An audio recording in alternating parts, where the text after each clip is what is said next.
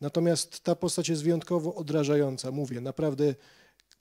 No szkoda było to porzucić, żeby po prostu ktoś znowu wziął jakiś serial, nakręcił, który po prostu będzie zwykłym gniotem. I mam takie wrażenie, że z odcinka na odcinek coraz bardziej się rozkręcacie. Idealne warunki są dzisiaj, dokładnie w takich samych e, ten nasz bohater w cudzysłowie e, funkcjonował, chodził i wybierał sobie te wszystkie ofiary i sprawę zamknęło, by się przyznał. Tylko, że niestety takie metody powodowały, że człowiek się przyznawał nawet do tego, czego nie popełnił. Nie można go było ani e, pod względem e, kartotekowym trafić, ani złapać go na gorącym uczynku, ani na końcu poprzez kryminalistykę. I po prostu tak to wyszło. Drodzy Państwo, jeszcze raz Adrian Wrocławski, autor książki, reżyser, scenarzysta, Kamil Olszowy, współreżyser, scenarzysta, montażysta, yy, autor zdjęć. Z tym scenariuszem się trochę spędziłem, ale wycofuję to. I Kamil Prabucki, e, lektor, który e, ponurą narrację prowadzi tutaj w 17 już odcinkach. Także jeszcze raz przywitajcie, proszę Państwa, naszych gości. Można usiąść. Porozmawiamy sobie trochę o Skorpionie, trochę o samej publikacji i, i, i trochę o serialu. Może zacznę w ten sposób. Mamy listopad, jest dosyć ponura pogoda, dzisiaj padał śnieg z deszczem. E, czy to jest dobra, to, to są dobre warunki na tak zwaną wędrówkę? Warunki dzisiaj są idealne. Tak naprawdę, nie wiem, słychać? Chyba słychać. O, raz, raz, raz, dobra. E, a więc tak, ide, idealne warunki są dzisiaj, dokładnie w takich samych e, ten nasz bohater w cudzysłowie e, funkcjonował, chodził i wybierał sobie te wszystkie ofiary, które chodziły, przemieszczały się, jechały albo do pracy, albo wracały z pracy. No i cóż, na pewno to, co można powiedzieć bez żadnych wątpliwości, to to, że te ataki, które on przeprowadził na kobiety, to były tylko te ataki, które mu się udały. Natomiast ataków, których mu się nie udało przeprowadzić, było o wiele, wiele więcej i w rzeczywistości, gdyby za każdym razem miał taką skuteczność, jaką chciałby mieć, to tych ofiar byłoby, no tak jak powiedziałem na początku tego filmu, z 40, 50, 60, no ciężko powiedzieć, to że hipotetyczne wartości, ale facet był e, niewątpliwie, niewątpliwie groźny. Ja wiem, że wszelkiego rodzaju rankingi, jeśli chodzi o zbrodniarzy, jakby to nie jest jakby rzecz, która mm, jest, no, nie, nie wiem na, na ile to ma sens, ale jakby twierdzisz, że to był najgroźniejszy przestępca okresu PRL-u, tamtych czasów? To znaczy problem generalnie jest taki, że ciężko przyjąć jakieś kryterium, na różnego rodzaju stronach, na Wikipedii ci wszyscy zabójcy seryjni są klasyfikowani według ilości ofiar. Tyle, że są to ofiary śmiertelne, a pomija się te, które no, uratowały swoje życie. Natomiast nie zmienia to faktu z punktu widzenia oceny prawnokarnej, że niebezpieczeństwo sprawcy no, nie polega na skutku, ale polega na tym, co w jego głowie było, mówiąc tak zupełnie lakonicznie, tak prosto, aby każdy to mógł zrozumieć bez wchodzenia e, w głębsze aspekty prawa karnego. I z tego względu to, co się wydarzy, to, jaki będzie skutek danego czynu, danego zdarzenia, jest wypadkową wielu różnych rzeczy i to, czy ofiara umrze, czy ona przeżyje, czy zostanie kaleką do końca życia, jest tylko i wyłącznie e, często przypadkiem. Natomiast nie zmienia to faktu, że niebezpieczeństwo wywodzi się z głowy tego sprawcy, który ma zamiar i z tym zamiarem bezpośrednim atakuje człowieka w głowę, rozwala mu głowę młotkiem i to jest to największe niebezpieczeństwo. A więc przy każdej takiej e, sumie, przy każdej takiej klasyfikacji, no należy przede wszystkim wziąć pod uwagę sumę ofiar, również te, które przeżyły. Bo teraz ostatnio tak dochodzą różne mnie, do mnie informacje, wiadomości przekazywane przez fanów, których już no trochę liczba się powiększyła przez od pierwszego odcinka, który był dzisiaj tutaj opublikowany. I okazuje się, że wiele z tych kobiet, które przeżyły, już nie żyją. A były to kobiety w tamtym czasie młode, zresztą nawet dzisiaj przecież w całkowicie rocznik 55, 60 to przecież to młode osoby, tak, no, cały czas. I jeżeli one umierają, e, i większość z nich już umiera, no, ma to ewidentnie skutek działania sprawcy, bo o tym się nie mówi, bo Zwraca się uwagę, że na to przede wszystkim, że kobieta została zamordowana, że zmarła i pod tym, pod tym kątem ocenia się ofiarę, natomiast nie, nie pamięta się, często się pomija te, tak jak powiedziałem, kobiety, ofiary, które przeżyły, bo jest wskazane, że to było usiłowanie. To było usiłowanie zabójstwa, ale skutek był w postaci ciężkiego obrażenia ciała. I ciężkie obrażenia ciała były na tyle ciężkie, że większość z tych kobiet no, na przykład nie potrafiła mm, wejść po schodach do końca życia. Taki był skutek neurologiczny tych ataków młotkiem w głowę, więc e, straszne skutki działania sprawcy. A biorąc pod uwagę to, że oprócz tego, że on atakował przy użyciu młotka życie ludzkie, kobiety, to on również, tak jak było podane we wstępie, kradł.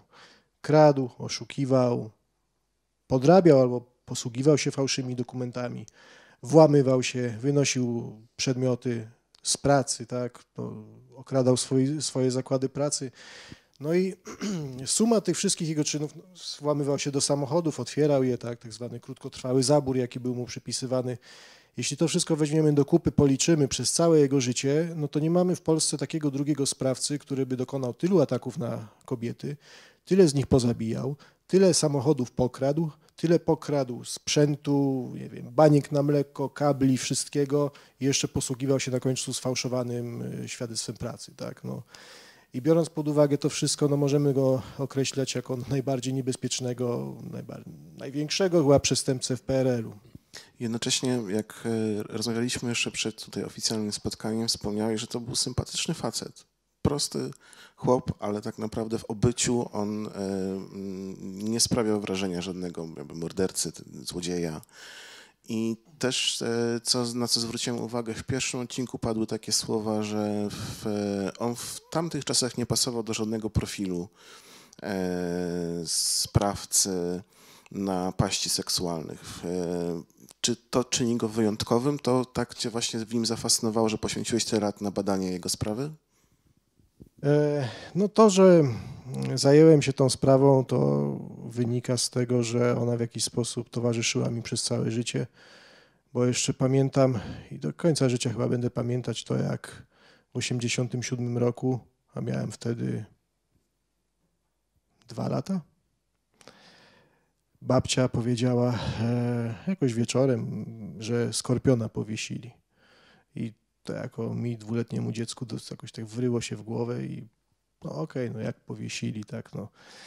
Ale potem człowiek e, rósł, rósł, znalazł się tutaj na Wydziale Prawa jako student, dziś już jako pracownik tegoż wydziału. No i tam nastąpiło kolejne spotkanie ze Skorpionem, ponieważ Dowody rzeczowe z jego sprawy są w naszym Muzeum Kryminalistyki. I potem ktoś, e, już nie pamiętam kto, czy to jakieś koło naukowe, chciało, żebym opowiedział im o tym skorpionie, coś tam też oczywiście wiedziałem. No i poopowiadałem o nim na auli, chyba tam, ta aula chyba wtedy była, nigdy nie była tak pełna jak, jak wtedy. E, no i po tym wykładzie postanowiłem, że no szkoda to zostawić, już tyle materiałów zdobyłem i warto byłoby to uwiecznić, tym bardziej, że usłyszałem, że pewien dziennikarz śledczy, jak się określa, e, jak sam się określa, e, też pisze taką książkę. No, książka jaka wyszła, taka wyszła, nawet tutaj no, nie będziemy wymawiać tytułu tej książki, bo naprawdę nie warto, bzdury totalne i I mimo tego postanowiłem napisać tę książkę i zajęła parę lat życia. No i gdy została ona napisana, zostało dużo materiału, który jakoś tak postanowiliśmy wykorzystać i zrobić po prostu film na YouTube'a.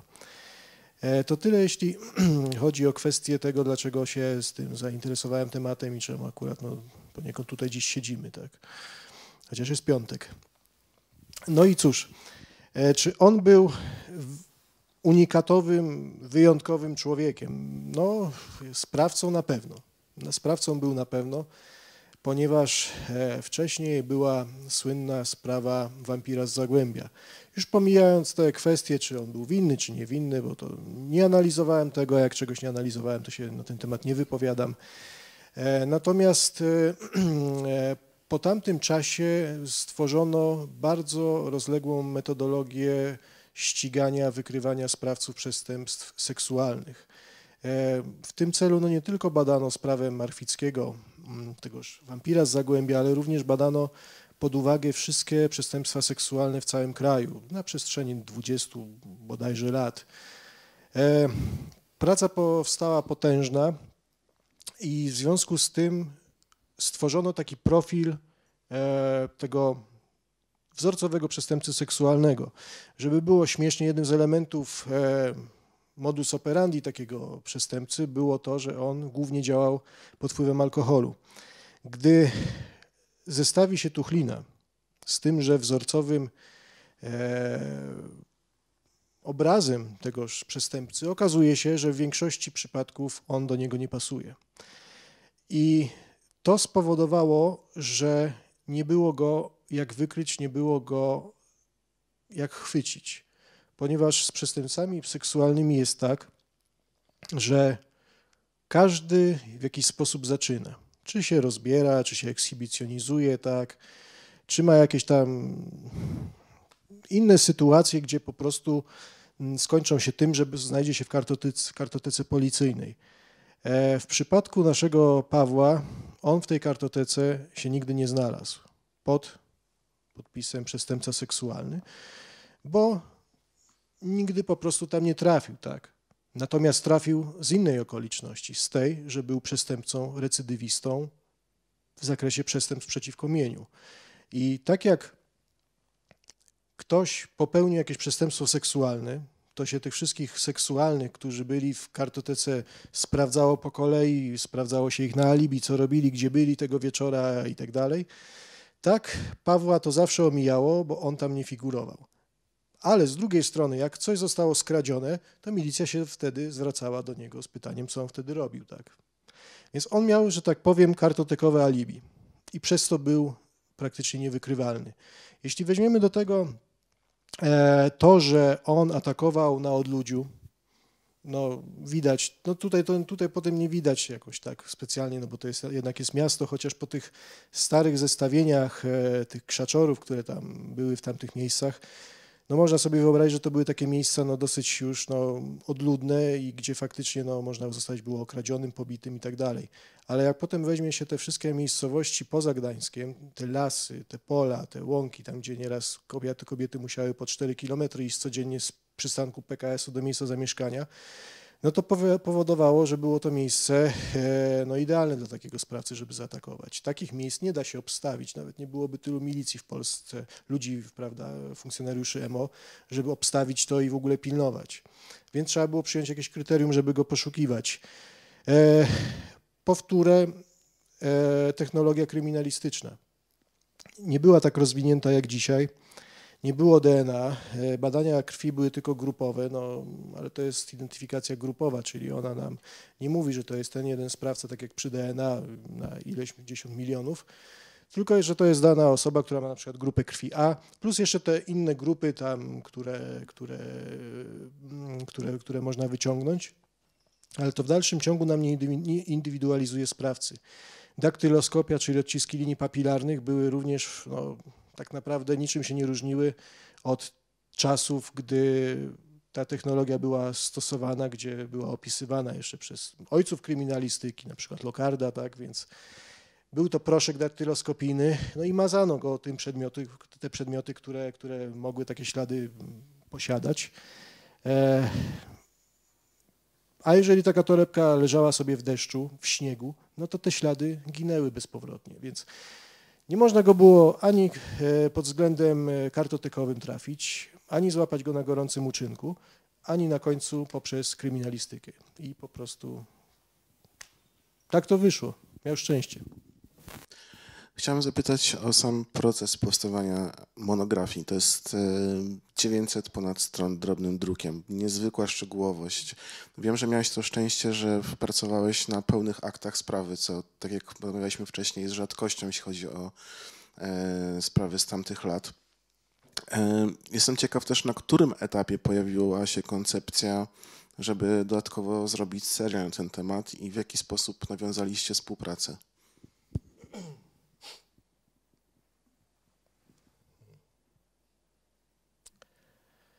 Książka e, ma te 900 stron i ona i tak jest okrojona, bo więcej nie dałoby się wszyć tak naprawdę. Jeszcze można było ją poszerzyć, bo jeszcze można było tam trochę wątków powyciągać, ale no mówię, trzeba było kiedyś ją skończyć, więc jest jaka jest. Niestety ma, e, ma słabą oprawę, więc się rozpada, no, ale tak to musiałaby być w dwóch tomach. I książka ta zajęła mi parę lat życia. Pracowałem tak na aktach, ale nie tylko na aktach sądowych, tak jak to przyjmuje się robić, ponieważ akta sądowe są tylko wierzchołkiem góry lodowej każdej sprawy. To jest tylko materiał przede wszystkim dowodowy i wskazujący skąd te dowody się pojawiły. To tak w skrócie. Natomiast jeżeli chcemy poznać całą sprawę, nie tylko takiego tuchlina, ale jakąkolwiek inną, my musimy dobrać się do, do akt resortowych, do korespondencji, do całego obiegu informacji z tamtego czasu.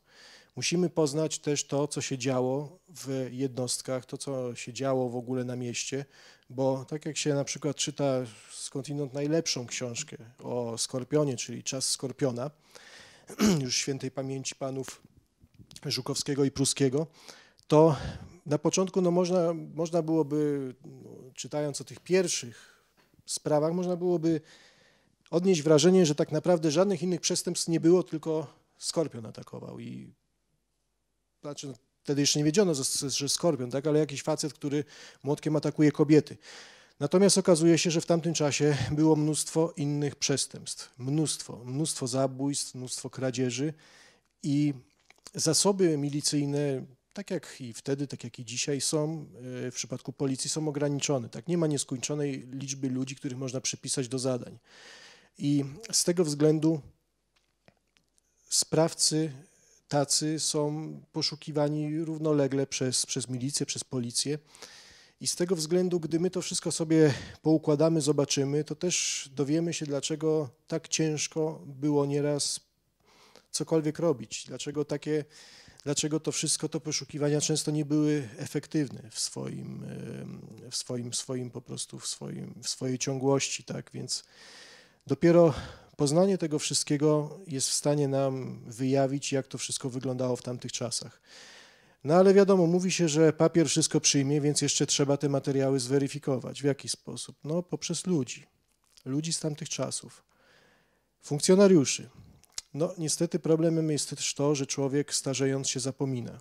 I to, co potem już zaczyna to, to, co potem w głowie mu zostaje, to już, jest, to już są też, że tak powiem, ogólniki. Nawet jak my się spytamy, skonfrontujemy te osoby z takim dokumentem, one nic nam nie powiedzą, bo już nic nie pamiętają. Więc im szybciej my taką sprawę weźmiemy na warsztat, im szybciej do takich ludzi dotrzemy, kiedy oni coś jeszcze pamiętają, to jesteśmy w stanie coś jeszcze z nich wyciągnąć. Oprócz nich są jeszcze dowody rzeczowe, które my sami też możemy, jeśli mamy takie umiejętności albo pieniądze, żeby zapłacić komuś, kto to na tym się zna, jesteśmy w stanie te dowody samodzielnie zbadać jeszcze raz, tak jak ja zbadałem kwestię tych odcisków traseologicznych, czyli podeszw buta, butów, tak, Pawła, mm, co tam jeszcze było, e, daktyloskopię, ale to w związku z tym niewykrytym zabójstwem. To może też będzie na, w którymś tam odcinku na koniec, e, cóż jeszcze, kluczyki, którymi on w cudowny sposób te samochody otwierał i kradł.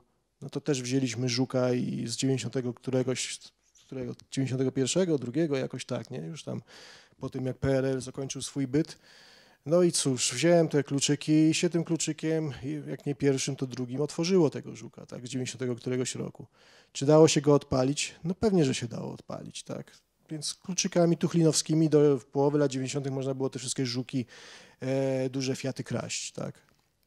To zostało zweryfikowane no, w terenie, że tak powiem. I dzięki temu ta książka ma taką wartość, że ona jest autentyczna, jest przeszczegółowiona może, ale ja tak lubię. Jak się komuś nie podoba, to może sobie po jakąś beletrystykę sięgnąć, e, po jakieś opowiadania. Ale no, ja to zawsze lubiłem szczegóły i zawsze było tak, że kiedy czytałem różne książki jeszcze jako młodszy człowiek, to mnie to zawsze denerwowało, że nie było tam odpowiedzi na wiele pytań, które mi się w głowie pojawiały. A dlaczego, a dlaczego, a dlaczego? I nie sposób było znaleźć. Wtedy jeszcze nie było Wikipedii, na której można było dużo zobaczyć. Człowiek sięgał do encyklopedii, w tej encyklopedii to nic nie było, tak, oprócz tam hasełko i trzy zdania, więc no, ciężko było. No i jakoś tak wyszło, że mogłem to wszystko sam zrobić i sam do tego dotrzeć i zawarłem to w tej książce i teraz każdy, kto chce się, się tym tematem zainteresuje, może sobie sam zgłębić od zera do końca, jak to wyglądało. Gdy natomiast książka już poszła do wydawnictwa, mm, spotkaliśmy się z Kamilem, bo się znamy już prawie 10 lat. Mm, no jakoś tak. E, I przy jakimś jednym Pytanie spotkaniu... z którym Kamilem, bo przypominam, jest dwóch. Tutaj, tutaj, bo tutaj tak właśnie mikrofonem wskazuję, e, że wpadł jakiś taki pomysł, że można byłoby coś nakręcić, ale to wyszło chyba z tego, że jakoś tak mieszka Kamil niedaleko miejsca, gdzie Tuchlin wpadł. I nawet w sumie nie wiem, czy wiedział, natomiast na pewno uciekał po jego działce. No i to w sumie wszystko spowodowało, że można byłoby coś nakręcić. A że miałem mnóstwo materiałów, które pozostały po tej książce, również i nagrań magnetofonowych, magnetowidowych, no szkoda było to porzucić, żeby po prostu ktoś znowu wziął jakiś serial, nakręcił, który po prostu będzie zwykłym gniotem, tak? Mówię to z całym przekonaniem, bo ja, jeden, bo ja występuję w jednym serialu, tak? Nie będę już mówił którym. I to jest po prostu, no nie podoba mi się, bo z całej mojej wypowiedzi godzinnej, no to wzięto chyba 20 sekund. Wklejono to pod narrację, jaka była przygotowana przez osobę z zagranicy, która w ogóle nie miała pojęcia o tym. E, no i to tak śmiesznie wyszło, że w sumie to tak książ- ten, ten serial no nic nie pokazał tak naprawdę. No jakaś tam po prostu no, jeden z miliona, jakie się kręci, wystawia się faktury za to, tak, no, bez wartości większej. No i to też spowodowało, jak sobie zobaczyłem ten serial, to się złapałem za głowę, ja pierdzielę, zatrzymie, gdzie ja, gdzie ja swoją twarz tak pokazałem, nie? Jeszcze ktoś potem będzie pokazywał palcami, że w jakiś sposób legitymizuje te tezy tam stawiane. No i to też był taki już ostateczny, ostateczny dowód, że trzeba zrobić coś sam, trzeba zrobić coś samemu, tak, po swojemu, zrobić to, nagrać, zostawić rzeczywiście za darmo, żeby każdy mógł po prostu, się, się tym interesuje, że mógł po to sięgnąć, po to sięgnąć, sobie zobaczyć i tak też zrobiliśmy. Wspomniałeś, że lubisz szczegóły, to widać w tej publikacji. Natomiast e, monografia monografią, tutaj mamy do czynienia z serialem, gdzie trzeba czasami przyspieszyć trochę narrację, Kamil, jak to wyglądało z twojej perspektywy? Czy ty w, kłóciłeś się z Andrianem trochę na planie, czy byłeś spolegliwy, tak jak właśnie wspominałeś? E, jaki był twój wkład właśnie? E, może zacznę od tego, że mm, kiedy Adrian opowiadał, mm, e, chciałbym wrócić do, do kilku zdań wcześniej i do mojego bezpośredniego powodu tego albo motywacji do tego, żeby zająć się tym tematem w 19 roku, kiedy spotkaliśmy się w samochodzie u Adriana i spędziliśmy e, w nim dobre trzy bite godziny na, na rozmowie o tym projekcie. Wtedy to był dla mnie może nie zwykły filmowy projekt, ale wciąż to był po prostu projekt, którym się zajmiemy w najbliższym czasie, w najbliższych miesiącach. Wtedy nam się wydawało. E, w 20 roku wzięliśmy się do roboty, zaczęliśmy kręcić i kiedy już byliśmy w terenie, pokazałeś mi mapki, gdzie te świnie w Lubichowie e, Tuchlin ukradł. I okazało się, aha, wrócę jeszcze do tego, że w 16 roku kupiłem działkę od jednego gospodarza w Lubichowie e, i zacząłem budować dom tam. I się okazało w 20 roku, że e, te świnie Tuchlin ukradł gospodarzowi, od którego tę działkę kupiłem. Więc w zasadzie to gospodarstwo widzę z okna, to jest 150 metrów ode mnie. No i wtedy stała się dla, to dla mnie sprawa osobista, można powiedzieć. E, a wracając do Twojego pytania, możesz powtórzyć? Chętnie teraz Jasne, powtarzam już. E, Wspomniałem, że książka jest naładowana szczegółami, że ma swoją taką narrację typową właśnie do monografii, natomiast serial ma troszeczkę inne jakby prawa, e, więc zastanawiam się, jak wyglądała wasza współpraca, czy jaka była twoja rola tak naprawdę przy tym serialu. Moja praca była banalnie prosta, ponieważ Adrian wykonał scenariusz i w zasadzie wystarczyło mm, iść zgodnie z jego wskazówkami, zgodnie z jego sugestiami e, i łączyć fakty, albo przynajmniej te puzzle filmowe. I na tej podstawie powstał każdy jeden odcinek e, naszej serii dokumentalnej. Myślę, że, że, że gdyby nie ten, ta mapa drogowa, którą mi Adrian przy każdym odcinku e, kreował, to znacznie dłużej powstawałby każdy jeden odcinek. No i pewnie tym samym e, pod każdym odcinkiem w komentarzach znalazłoby się za cztery razy więcej e, próśb, sugestii, gruźb o tym, że odcinki powinny być częściej robione. Kamil, ale kiedy ty pojawiłeś się w tym projekcie i jak, jak do tego doszło? No tak, ja dziękuję za zaproszenie na dzisiejsze spotkanie również. E, Bardzo mi miło. Ja pojawiłem się e, dzięki Kamilowi, bo, bo to on się, e, on się do mnie zwrócił, a że to były, jak zresztą było słychać, niestety, początki mojej lektorskiej kariery, mm, to z wielką przyjemnością podjąłem to wyzwanie, tym bardziej, że temat wydawał mi się bardzo ciekawy, a to również dlatego, że to po sąsiedzku. Przecież to nasza wspólna historia tutaj.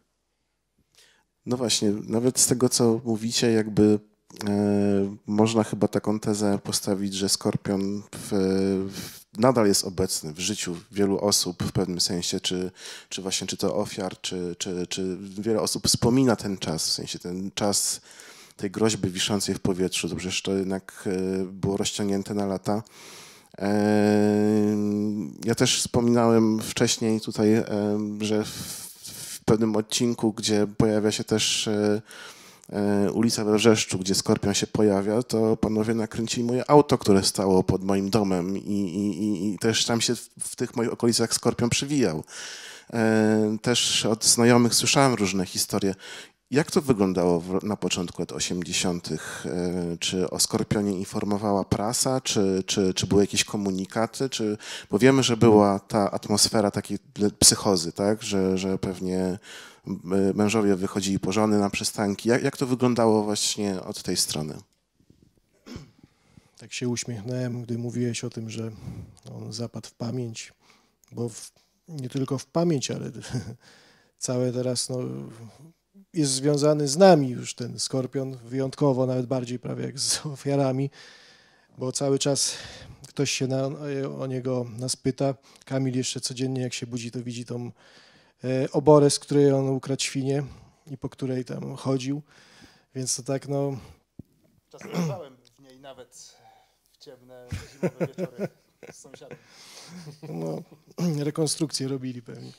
Więc no, tak to, takie są skutki e, zbyt dużego zajmowania się sprawą. Natomiast wracając do pytania zasadniczego, czy była jakaś psychoza, nie było psychozy, natomiast było, e, było, była, była obawa tak, o kobiety, ale tylko i wyłącznie w tym okresie późniejszym, czyli z- okolice ponieważ wcześniej nikt nie informował społeczeństwa o tym, że taki skorpion e, buszuje, gdzieś chodzi po, po Trójmieście.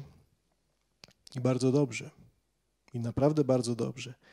Bo nie ma nic gorszego e, dla kryminalistyki niż e, społeczeństwo, niż opinia publiczna.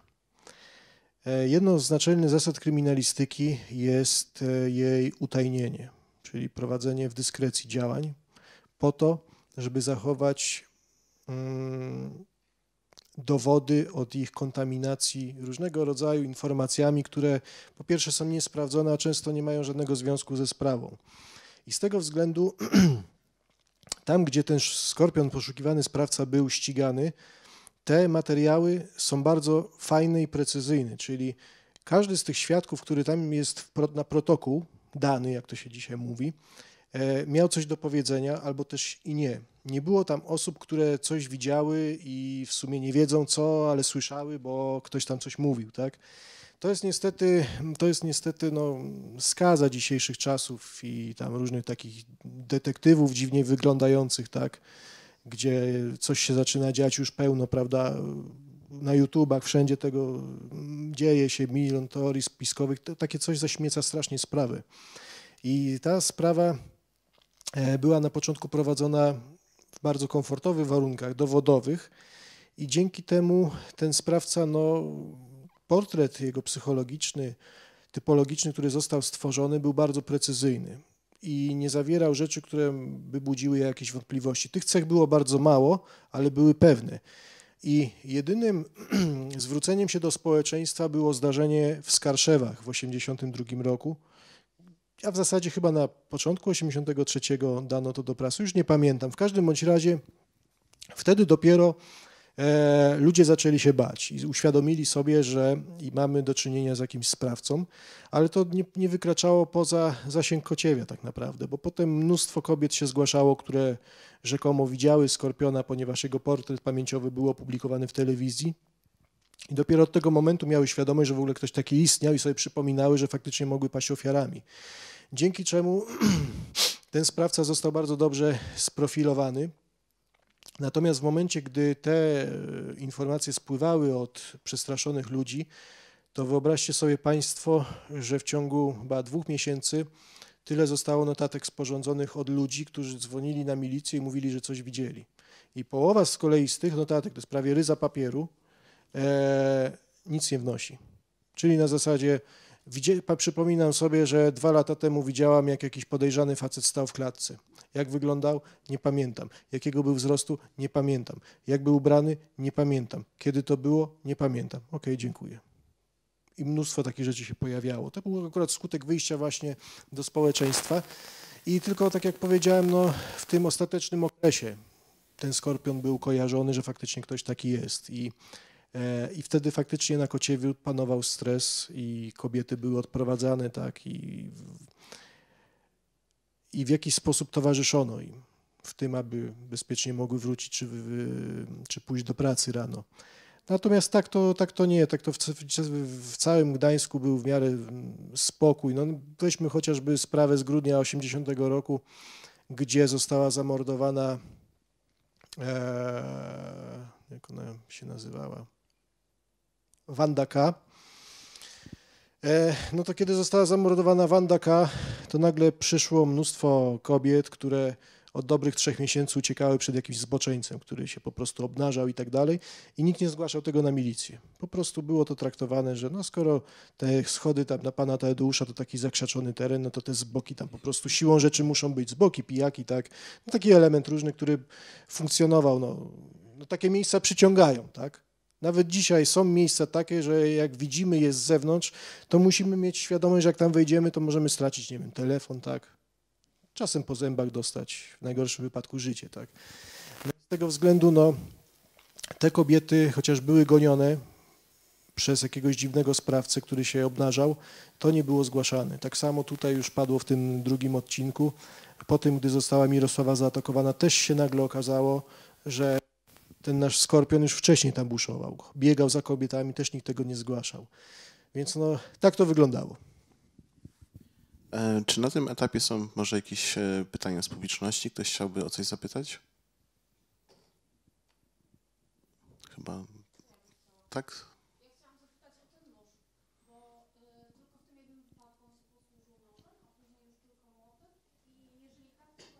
W którym wypadku?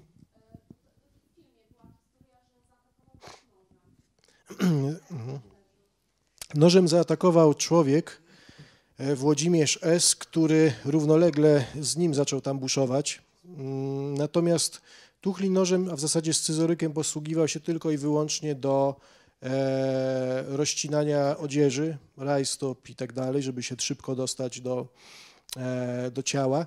I on również posługiwał się scyzorykiem do tego, żeby odcinać fragmenty majtek, które potem sobie nosił, wąchał je i po prostu przez jakiś czas tam wracał wspomnieniami do tego czynu, tak. Natomiast tak on posługiwał się tylko i wyłącznie młotkiem, tym przedmiotami tempokrawiedzistymi, z tego względu, że w jego mniemaniu te przedmioty gwarantowały ogłuszenie ofiary. Bo jego, to właśnie często to jest takie paradoksalne, no bo on nie miał zamiaru, a przynajmniej to nie zostało udowodnione, że jego celem było zabicie, pozbawienie życia. On walił tym młotkiem w głowy po to, żeby ogłuszyć. Oczywiście miał świadomość, że to może się skończyć zgonem, tak? No, sam to zresztą przyznawał, ale nie był to taki sprawca, gdzie samo zabójstwo jest celem w samym w sobie, bo gdyby tak było, no to w kilku przypadkach te ofiary by dobił, chociażby tylko po to, aby mieć gwarancję, że one nie pójdą na milicję. On nic takiego nie robił. W Podlubichowem, w Zielonej Górze, gdy skończył już ze sobą, skończył z kobietą już zaspokajać się, e, wstał i sobie poszedł. Tak? Ona nawet go mijała, patrzyła się na niego, minął. Tak? W, we w Głodowie z kolei kobieta się patrzy na niego ogłuszona, tak, wstaje, a on sobie śmietanę popija, tak, którą, którą wyciągnął jej z siatki, więc e, z tego względu, no mówię, z tego względu no, ten e, zabójstwo było z zamiarem ewentualnym, jak sąd wojewódzki ustalił, zresztą całkiem słusznie. Czy jeszcze ktoś chciałby o coś? Mikrofon zaraz będzie, sekundkę.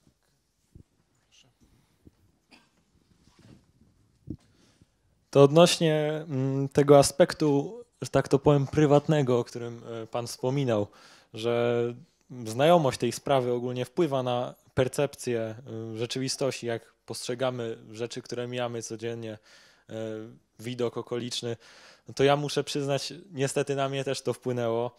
Mm, regularnie, właściwie codziennie podróżuję autobusem, który jedzie starą kartuską przez pętlę Siedlce i codziennie, jak tamtędy jeżdżę, widzę te schody właśnie z wzgórza Mickiewicza. Przypomina mi się ta sytuacja właśnie morderstwa Wandyka. Po drugiej stronie jest z kolei e, miejsce ostatniego ataku w, w, ramach, że tak to powiem, tej, tej pasy, o której były te odcinki, czyli usiłowanie zabójstwa e, Jadwigi P. Z kolei jeszcze w okolicy mojego domu jest, e, znajduje się miejsce zbrodni e, z kokoszek. To bardzo wpływa na to właśnie, jak człowiek postrzega wszystko, to trochę pewne takie elementy uruchamia takiego niepokoju, e, obawy, więc muszę niestety się z tym zgodzić. Natomiast stricte do pytania o sprawę, była w grupie wspomniana e, grupa operacyjna Olszynka, mająca właśnie na celu mm, odnalezienie sprawcy właśnie napaści, e, zabójstwa na Olszynce. E, potem z kolei, już właśnie po morderstwie skarszewskim, powołano grupę Skorpion. Ja chciałbym się spytać, dlaczego mm, właśnie takiego specjalnego oddziału milicyjnego nie powołano na przykład w roku 80, kiedy, kiedy ta seria zabójstw była najdłuższa.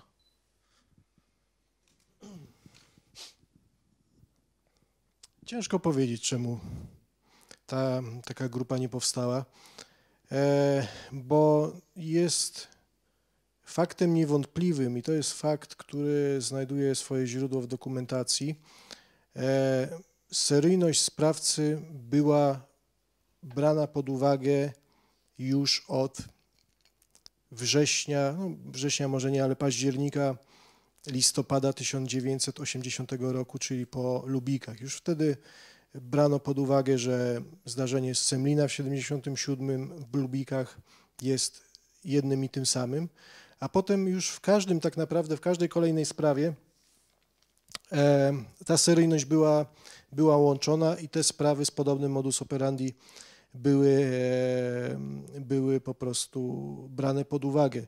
Wydaje mi się, że w tamtym czasie po prostu chodziło o to, że większe prawdopodobieństwo było wykrycie, gdy pracowano nad sprawą bieżącą, że ze sprawy bieżącej będzie na tyle wysoki uzysk dowodowy, informacyjny, który pozwoli te, tego sprawcę nam trafić, a potem ewentualnie powiązać go z poprzednimi zbrodniami, bo To, że postępowanie było umorzone wobec niewykrycia sprawcy, to jest tylko i wyłącznie na gruncie kodeksu postępowania karnego, ponieważ śledztwo nie może trwać w nieskończoność i je się przedłuża tam co trzy miesiące i tak dalej, więc ostatecznie się umarza. Natomiast cały czas e, takie sprawy e, były, cały czas była praca operacyjna nad tymi sprawami. W momencie nawet, gdy grupa Skorpion została powołana w, w styczniu 1983 roku, to jeszcze było otwarte rozpracowanie operacyjne z czerwca 81 z,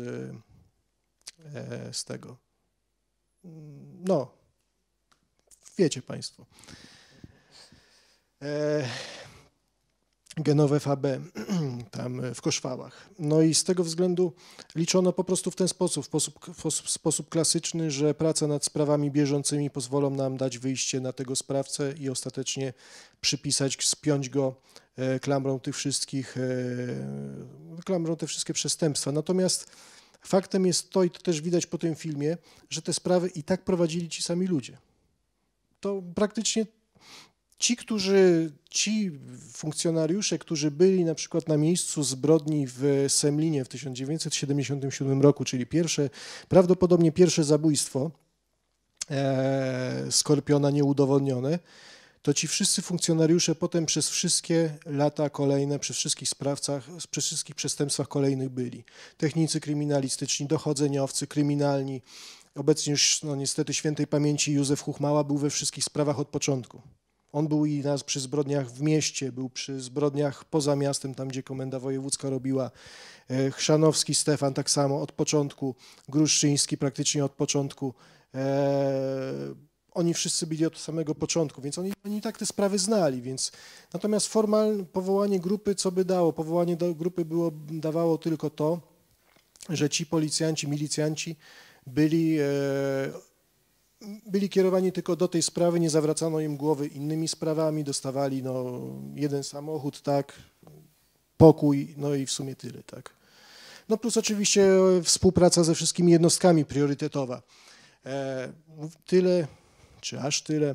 Ciężko stwierdzić. No, natomiast, natomiast mówię, natomiast i tak te mm, e, w tych grupach e, takich no, poza, poza oficjalną grupą ci funkcjonariusze i tak pracowali i tak po prostu tego sprawcę ścigali. Ja chciałem zapytać o jedną rzecz, bo nie mogę pominąć tego w, jako osoba, która zajmuje się analogowymi nośnikami na przestrzeni 17 odcinków, które do tej pory powstały, często pojawiają się nagrania Skorpiona, czy to właśnie głosowe, czy też e, nagrania e, wideo z wizji lokalnych. Czy w, wiem, że Tobie udało się jako pierwszemu dotrzeć do tych nagrań po, po wielu latach, kiedy one leżały gdzieś na półce e, w jakimś magazynie. Czy można na ten temat coś opowiedzieć? Bo wiem, że nie było to łatwe. Ta historia nagrań jest też odpowiedzią, czemu te odcinki tak powoli powstają, bo ten materiał audio-wideo no, jest niewątpliwie interesującym takim dodatkiem. Natomiast ciężko było go uzyskać. Ciężko było go uzyskać z tego względu, bo były one zapisane na nośnikach tak bardzo archaicznych, że żaden tutaj, nikt z Państwa nie wie, że nawet coś takiego istniało większość techników nawet nie miało pojęcia, że coś takiego istniało. To były urządzenia, które powstały, były na przykład, większość tań zostało nagranych na takim, e, na sprzęcie, który był potem odtwarzany na magnetowidach Sony EIAS. To był taki, to był taki szpulowy magnetowid, który tak jak szybko powstał, tak szybko zniknął. To był generalnie na użytek prywatny, ale potem e, wyparły go tam już e, nowsze konstrukcje, ostatecznie z VHS-em na czele i on umarł w zapomnieniu. E, myśmy go mieli w Polsce dlatego, że Służba Bezpieczeństwa taki sprzęt dostała i eksploatowała go tak, go tak długo, jak długo posiadali taśmy, szpule i tak dalej. Kiedy Służba Bezpieczeństwa została zlikwidowana, powstało, pozostało pełno tych szpul, między innymi w IPN-ie do dzisiaj są nieodtworzone, mnóstwo tego jest. Sprzęt natomiast w większości był złomowany, bo nie było już części dostępnych, zamiennych.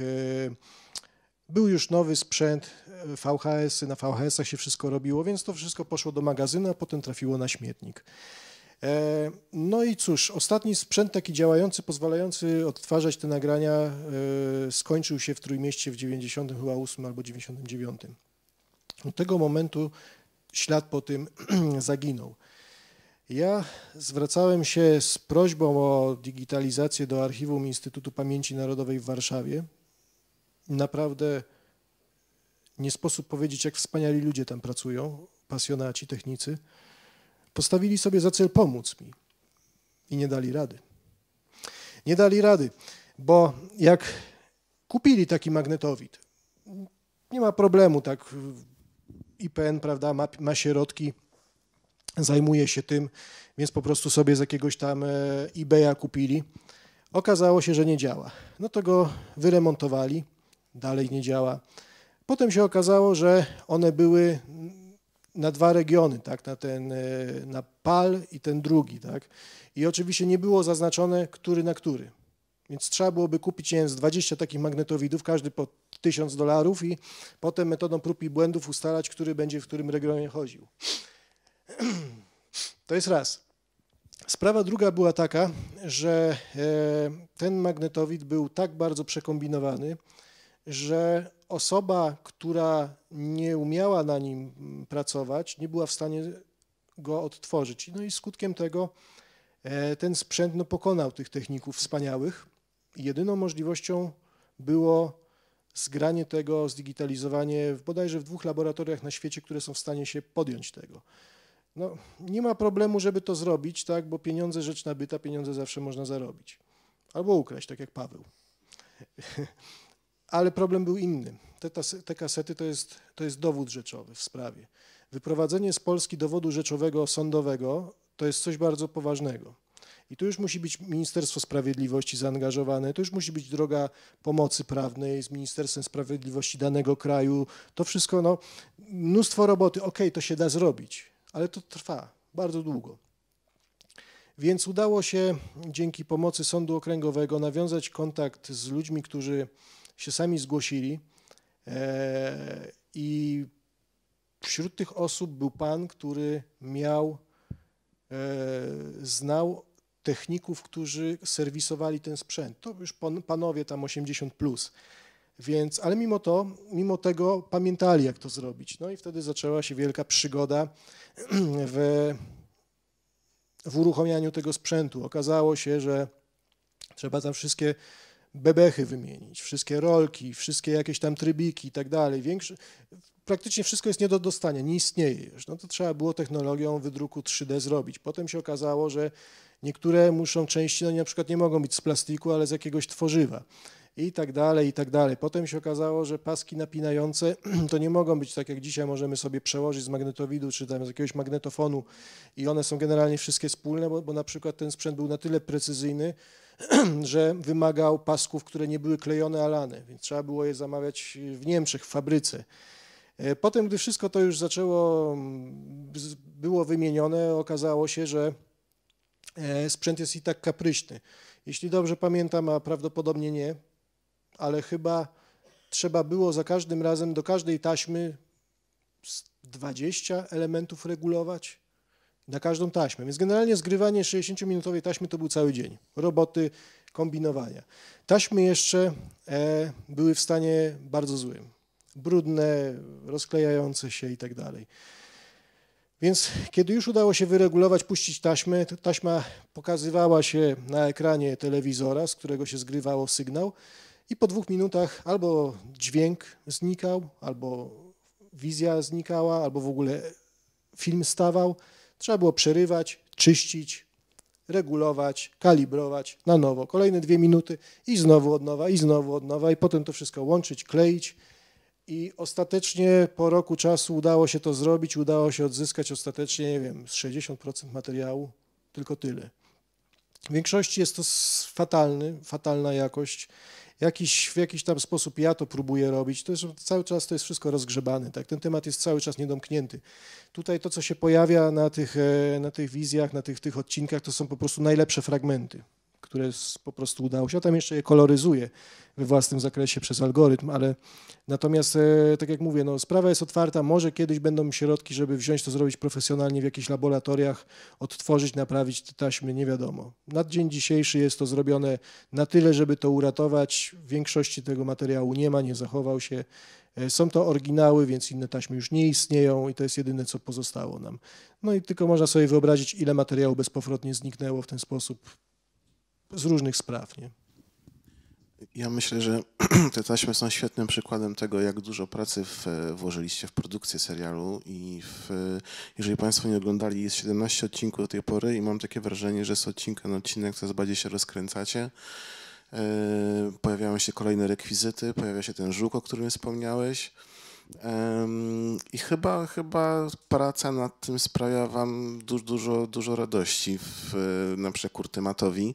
Więc e, nie mogę nie zapytać, co dalej, bo wiem, że jeszcze dwa, trzy odcinki zostały. Czy może możecie coś zdradzić, e, bo znamy zakończenie sprawy Tuchlina, ale co planujecie w tych odcinkach, jak to pokazać? To czy, czy, czy temat będzie kontynuowany, czy, w, e, czy ujęcie Tuchlina jakby zamyka sprawę? E, Czyli co, co, co czeka nas w przyszłości, jeśli chodzi o Waszą pracę? Odcinków to chyba zostało jeszcze trzy, może cztery, nie? Bo tam pytanie, czy jeden odcinek puścimy cały, czy go przetniemy na pół, bo inaczej by wyszedł, miałby ponad godzinę. E, natomiast co, co potem? Sprawa kończy się na zatrzymaniu i na tym się kończy większość filmów dokumentalnych, które do dzisiaj powstały. Zatrzymanie na pewno będzie fajnie zrobione, bo e, będzie taki sam samochód, jakim funkcjonariusz milicji go mm, pojechał go zatrzymać. Będzie też sam ten funkcjonariusz, który go zatrzymał w, na tym odcinku, będzie nawet jechał tym samochodem, więc no zrekonstruowaliśmy i to, żeby było śmieszniej w, to w tym roku było czy zeszłym? Już nie powiem. No, w 40. rocznicę równo. Tak? 31. No, trzy, dokładnie w 40. rocznicę nakręciliśmy ten odcinek, tak? Więc no nawet do takiego stopnia szczegółowości się posunęliśmy. A co potem? No potem będzie śledztwo, które też było bardzo ciekawe i proces, który też był bardzo ciekawy, ale nie wiem jak to będzie wyglądać, nie mam jeszcze na to pomysłu, bo to nie jest rzecz łatwa do pokazania większości ludziom bez spowodowania, że pójdą spać, tak? No, to są fantastyczne procesy, śledztwa, te rozgrywki e, z, pomiędzy przesłuchującymi a sprawcą są fantastyczne, no ale dla ludzi większości, którzy w tym siedzą, a tak w większości, gdyby to tak mm, ludzie popatrzyli, to by po prostu usnęli po 10 minutach. Zresztą tak jak na salach sądowych, tak? Każdy z nas może, jeśli, jeśli nie jest wyłączona jawność rozprawy, może sobie pójść na salę rozpraw. No i zwykle po 10 minutach ludzie zasypiają, co widać po studentach, którzy mają tam praktyki. Nie? To jest standard. No ja też spałem, ten, bo tam słuchać po prostu cały czas, jak ktoś mówi, tak, czy świadek pamięta. Więc nie jest to łatwe, żeby to przedstawić w sposób ciekawy, jakiś tam pomysł, zarys mam, więc jeszcze tam parę odcinków powstanie.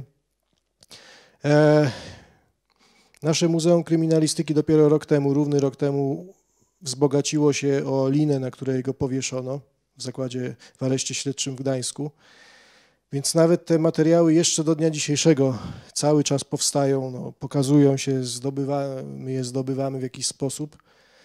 A co dalej? Jeszcze potem, po tym, gdy sprawa e, tropem Skorpiona się wreszcie zamknie. E, nie wiem, no zależy też od tego, czy jeden Kamil, jak i drugi, czy jeszcze dalej będą chcieli się w to bawić. Myślę, że tak, bo nawet to ich pewnie zaciekawiło. Nie? No. Jest deklaracja. E, W sumie w niepewności słuchaczy, co? Celowo też nie, nie ujawniam. Nie, nie, nie, nie, nie, nie, to może inaczej. E, Ja piszę kolejną książkę i zostało mi tej książki, nie wiem, no, 500 Bardziej- stron jeszcze do napisania. słucham? Jeszcze z 500 stron i będzie gotowa. No ona będzie taka gruba pewnie jak to. To właśnie. E, To jest książka o tych wszystkich sprawcach, którzy e, skazanych za zabójstwa, którzy zostali powieszeni przez Tuchlinem w Gdańsku od 60 roku. 20 chyba jeden osób. I historie przedstawione tak samo, bardzo szczegółowo, od początku aż do końca, do powieszenia. Książka będzie o tyle ciekawa, że mam bardzo dużo materiałów e, tych sprawców, związanych z tymi sprawcami, jak oni przebywali w warunkach e, odosobnienia penitencjarnego, tak, jak oni funkcjonowali w zakładach karnych, jak wyglądało oczekiwanie na tą karę śmierci. Mam dużo listów tych ludzi i to będzie spojrzenie z jednej strony, tak jak tu u Skorpiona, na zbrodnie, na te zabójstwa, na to wykonanie wyroku śmierci, a po drugie będziemy mogli zobaczyć tych ludzi jako ludzi i zobaczyć, że w, obliczu tego wykonania wyroku śmierci no większość z nas by po prostu darowała tym ludziom życie, chociaż dopuścili się czynów okrutnych. I w związku z tym kilka z tych przypadków, ja myślę, nagramy odcinki. Ale to będzie też uzależnione od materiału, który uda nam się zdobyć, bo fajnie byłoby zdobyć jakieś materiały z wizji lokalnej, z nagrań. Ale niestety problem jest taki, że większość tego już nie istnieje. Jeżeli ja mogę powiedzieć Państwu na przykład, ostatnio wpadły w moje ręce taka kwerenda z archiwum Komendy Wojewódzkiej Policji, to większość wizji lokalnych ze spraw sprzed 93 już nie istnieje. Poszła na śmietnik, wybrakowana, zniszczona. Koniec. Uchowały się pojedyncze materiały, gdzieś dzięki dobrym ludziom, którzy no, wiedzą, że to ma jakąś wartość. Więc mamy kilka materiałów, takich audio, wideo, nagrania i z tego myślę coś się wyda- stworzy. Tak? Jedna no już na teraz mogę zadeklarować, że jednym z odcinków będzie na pewno odcinek dotyczący takiego zabójstwa e, w Swarzewie. Sprawca był ze z Władysławowa. Porównaniu do Tuchlina, który, tak jak tutaj powiedziałeś i to padło, że był to taki fajny, sympatyczny facet, to ten sprawca jest dokładnie jego przeciwieństwem. Człowiek absolutnie obrzydliwy, odrażający taki typowy, stuprocentowy sąsiad, który jak zobaczył, że jego, jego sąsiad po drugiej stronie miał lepiej, to go po prostu szlak trafiał. I tak bardzo go szlak trafiał, tego gościa, że sąsiadowi nawet na targu we Władysławowie miał więcej klientów, że poszedł, roztrzaskał głowę jego żonie i potem po całym domu dziewczynkę gonił, która uciekała przed nim i on też zatłukł. Ukradł niedużo, nawet jak na tamte czasy. Wszystkie pieniądze przepił i takiego historia się skończyła. Ale mamy dużo materiałów związanych z nim, e, jego wypowiedzi e, i tutaj jest to ciekawa sprawa, że sprawa sama taka ciekawa, no, może ona nie jest, no bo nie ma takich już sprawców jak Tuchlin ciekawych, e, nie tylko sprawców, ale tych śledztw tak trudnych. Natomiast ta postać jest wyjątkowo odrażająca, mówię, naprawdę.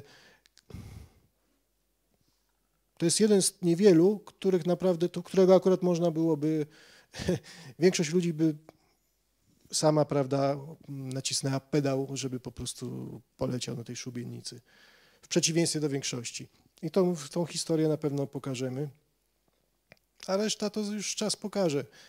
E, nie jesteśmy youtuberami, nie chcemy nawet nimi być.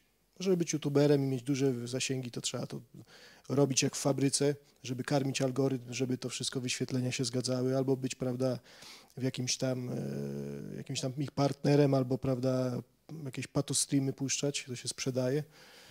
Więc nic z tych rzeczy, odcinki będą się pojawiać jak będą, jak będą zrobione. Mamy wszyscy dużo, bardzo dużo pracy na co dzień.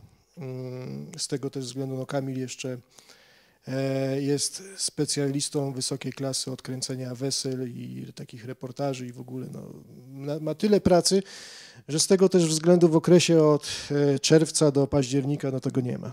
I dlatego też wtedy najsłabiej te odcinki się pokazują. A co będzie dalej? No, zobaczymy. Może chcesz coś też dodać od siebie, pomysły twoje? Ja mogę dodać od siebie, że e, widać od pierwszego odcinka do 17, jak ewoluowaliśmy. E, słychać po głosie Kamila.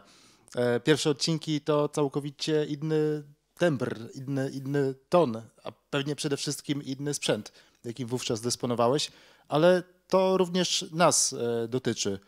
Ta krawatówka, którą trzy lata temu tobie podłączyłem, zbierała w, oczywiście twój głos, ale przede wszystkim wszystko inne, co potrzebne było nam wówczas. E, dzisiaj to wygląda zdecydowanie lepiej. Widzę, że z każdym kolejnym odcinkiem lepiej to wygląda. E, ha, pamiętam, że pierwszy odcinek, kiedy tworzyliśmy e, w Sumili, Suminie, obok, w Sucuminie, przy tej ruchliwej e, drodze, przy skrzyżowaniu, e, stałeś w miejscu i, i mówiłeś, gadająca głowa, tylko nie to. Do tego, że tylko nie to, doszliśmy dopiero w kolejnych odcinkach, że kurczę, fajnie gdybyś był wołoszańskim, gdybyś trochę więcej się ruszał, trochę więcej pokazywał. Ode mnie też to wymagało trochę innego rodzaju kręcenia, trochę bardziej dynamicznego, trochę szerszego kąta, ale brakowało tego ruchu i myśmy ten e, brak ruchu e, naprawili, wprawiając w ruch Adriana, który jednocześnie mówił. I to tyle. Fajne jest to, że początki były jak po grudzie, ale dzisiaj widać, że te efekty e, przyszły. I to wszystko fajnie wygląda póki co. Musimy powolutku zmierzać do końca. Czy jeszcze ktoś z publiczności chciałby zadać pytanie? To jest ostatnia szansa. O kurczę.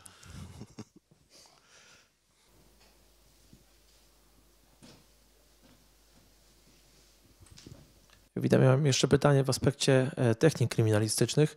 E, patrząc na sprawę głośną w którym mieście ostatnio, mm, e, związaną z poszukiwaniami Grzegorza Borysa, tam były dosyć mocno wykorzystywane psy tropiące. Pytanie, czy wtedy w trakcie poszukiwań Skorpiona te psy tropiące były w wyposażeniu MO i czy MO faktycznie wykorzystywało i czy one pomogły ewentualnie w, w tropieniu śladów? Tak, za każdym razem te psy tropiące były wykorzystywane, natomiast bardzo często no, niewiele, na niewiele się zdały, bo z, ze śladem osmologicznym jest tak, że ślad osmologiczny jest jednym chyba w sumie z najbardziej nietrwałych śladów kryminalistycznych, jakie są. I jeśli dobrze pamiętam, e, a lepiej będę pamiętać mm, w semestrze wiosennym, jak będę ćwiczenia prowadził z kryminalistyki, ale chyba ślad ludzki na szkle zachowuje się przez 4 godziny, przez 6 godzin. Ślad, który jest z kolei na drewnie, na, na ubraniu 12-20 godzin. Więc to są bardzo szybkie, to są bardzo, bardzo krótko ten czas, ten, ten zapach, e, ten ślad odorologiczny bardzo krótko się zachowuje. Więc największa skuteczność jest wtedy, gdy świeżo po zdarzeniu te psy podejmują trop. Wtedy mają największą skuteczność. Natomiast jeżeli te ofiary były znajdowane po jednym dniu, po dwóch dniach, to psy takie naprawdę już nie miały co robić. Natomiast e, takim bardzo fajnym e, dowodem, mimo wszystko ich skuteczności, mimo wszystko, no mimo wszystko, mimo pewnego, pewnej odległości czasowej, jest e, przykład na przy, przykład na przykład jest e, przykład e, tego pierwszego ataku na Danutę w, na Oruni. To pies dokładnie pobiegł tam, gdzie Tuchlin pobiegł, czyli w ulicą Gościnną. Prosto i w prawo tam, gdzie e, kiedyś był e, posterunek komisariat MO. E, sprawa w Koszwałach to samo. Tam też świeżo po zdarzeniu, bo ta kobieta Genovefa została znaleziona po 30, po godzinie od tego, jak została zaatakowana przez córkę i tam zawieźli ją szybko do Gdańska do szpitala, więc psy tam zaraz z milicją też się zjawiły i też idealnie e, pobiegły przez pole do drawnej tej szosy, no ta szosa, która przez, e, przez Koszwały wtedy przebiegała, to była E77 bodajże, takie miała oznaczenie. I dzięki temu, gdy było dwóch świadków, którzy widzieli faceta który z tego pola wychodził i powstały dwa portrety rysunkowe, on wychodził dokładnie w miejscu, gdzie ci świadkowie wskazali, a wcześniej gdzie biegł pies. Więc te psy bardzo dokładnie te tropy podejmowały tam, gdzie się dało, gdzie była świeża sprawa. No ale no mówię, no potem, potem to no, się już mieszają, potem już jest, no, sprawca przemieszcza się na przykład po betonie tak rozgrzanym i ten ślad już potem też zanika, więc no e, możliwość złapania go tak po, po, po śladach jest, jest, jest o, wiele, o wiele mniejsza wtedy. Nie? Czy jeszcze jest jakieś pytanie, czy jeszcze jedna? To już ostatnie na dzisiejszy wieczór.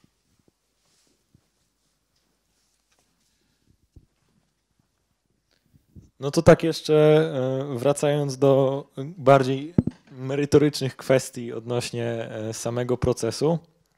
Jak pan wspominał, e, morderstwo w Semlinie 77 roku.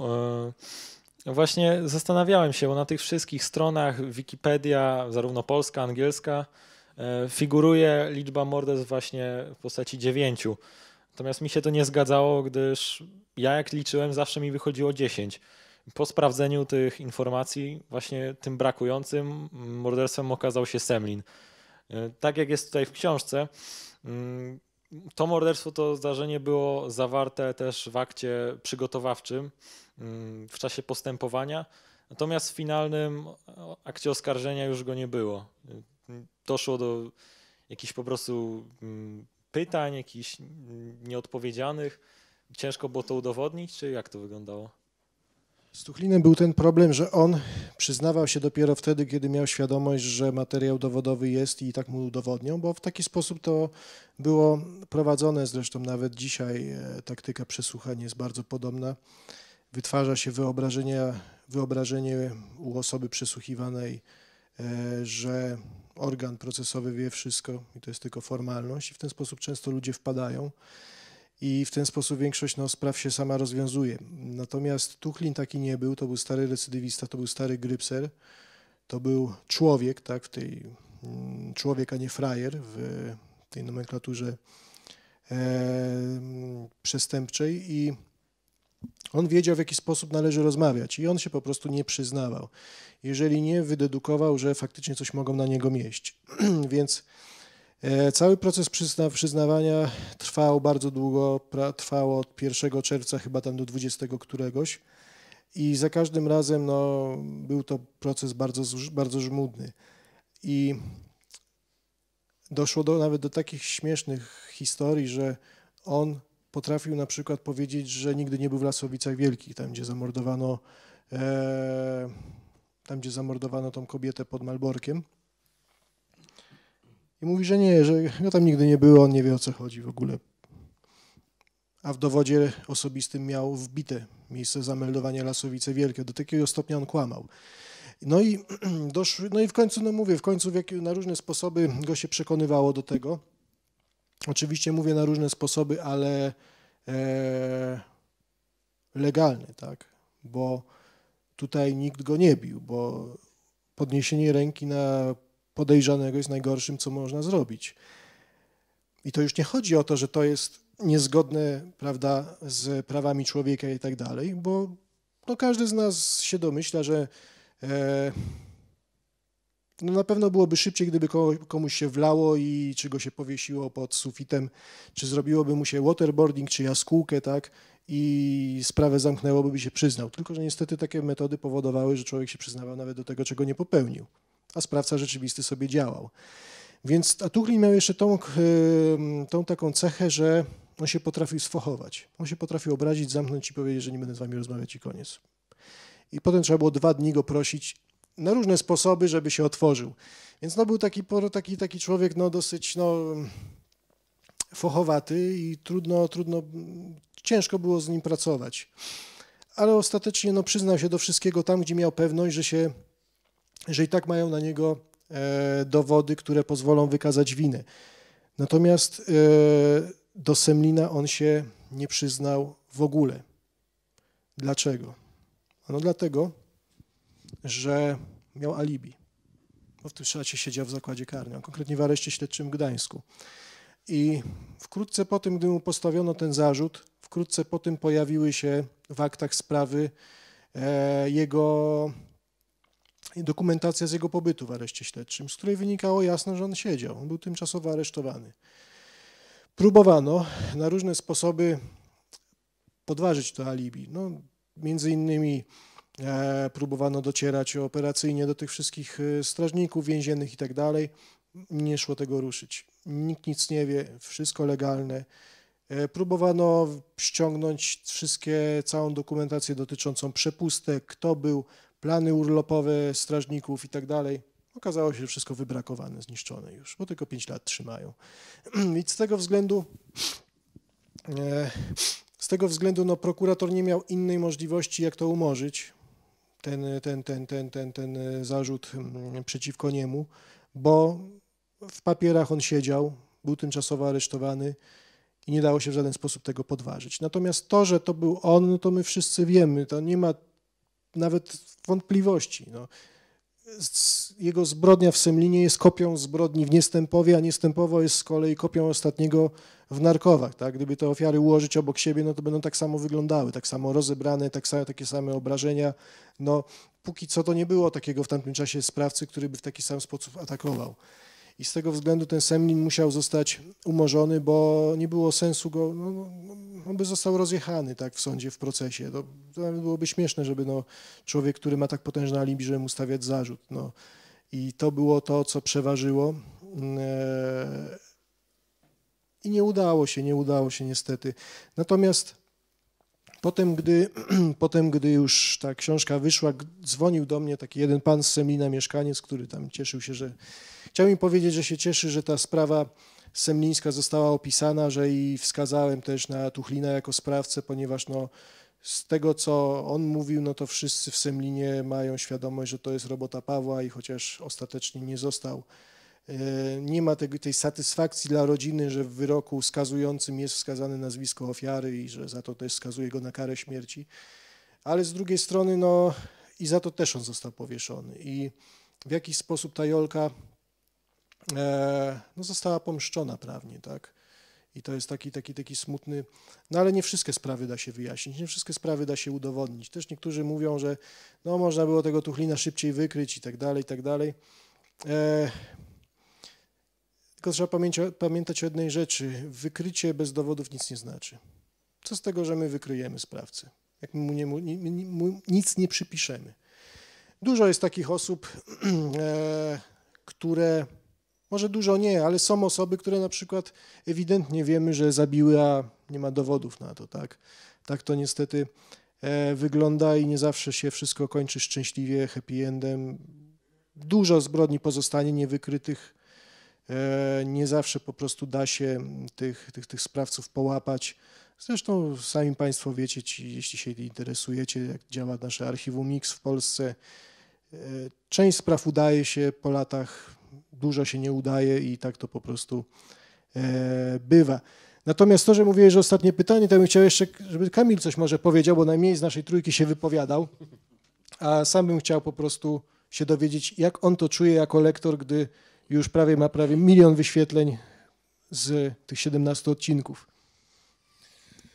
Ach, no, e, z milionem wyświetleń to nawet nie wiem, bo e, prawdę powiedziawszy nie, nie śledzę, e, jak to się mm, w internecie rozwija. Cieszę się, że cieszę się, że spotyka się z bardzo ciepłym odbiorem, bo to jak gdzieś tam zaglądam, to widzę w komentarzach, że, mm, że ta e, mrówcza robota twoja jest e, szalenie doceniona i słusznie, bo ogrom pracy w to włożony wasz. No, ja ze swojej strony tutaj jakby niewiele, niewiele wniosłem, bo, mm, no bo moim zadaniem było tylko odczytanie tego, tego, co otrzymałem. Cieszy mnie, tak jak patrzę na te odcinki, to E, cieszy mnie to, o czym mówiliśmy już tutaj, że, e, że każdy kolejny odcinek się rozwija. Ja to też, też słyszę po sobie, e, że jest progres i to dobrze, myślę, o nas świadczy. Mm, oczywiście, jeżeli będzie gdzieś tam chęć działania dalej, to ja bardzo chętnie, bo Skorpion był jednym z pierwszych filmów, które czytałem. E, ale nie ukrywam, że to jest e, ten gatunek filmów, które lubię najbardziej czytać. E, kryminalne historie i rozmaite thrillerowe, thrillerowe rzeczy to, to jest to, co czytać lubię, nie tylko w filmie, ale i w audiobookach.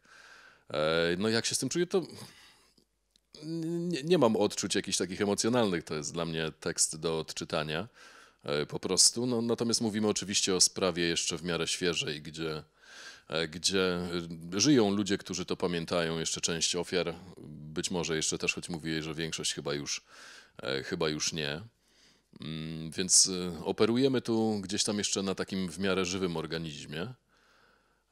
No mało to przyjemne rzeczy oczywiście, ale fascynujące. Nie, nie, nie, niezwykła to postać. Ja mam, taki, mam takie skrzywienie, że, że lubię takie, y, takie, takie postaci niekoniecznie pozytywne, ale, ale fascynujące w ten, e, w ten taki jakiś perwersyjny sposób, y, zwłaszcza w e, takiej sytuacji, kiedy mamy do czynienia ze sprawcą tak niezwykle trudnym do wykrycia. E, To fascynująca materia. Ja naprawdę, naprawdę bardzo sobie e, cenię tę możliwość, że, że mogłem rzecz współtworzyć i jeżeli będzie okazja, to, to bardzo chętnie wrócę czy do tej sprawy, czy innych. Panowie, dziękuję za dzisiejsze spotkanie. Dziękuję za Waszą pracę przy serialu, przy książce wcześniej. No i czekamy, czekamy na więcej w takim wypadku. Dzięki. Tak, dziękujemy bardzo.